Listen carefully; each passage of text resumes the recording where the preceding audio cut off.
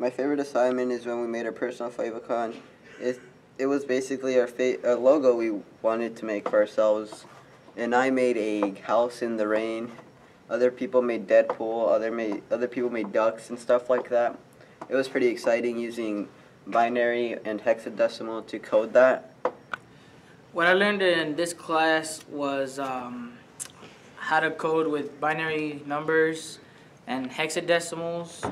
We used a personal favicon and uh, we used zeros and ones, which is pretty much the binary numbers.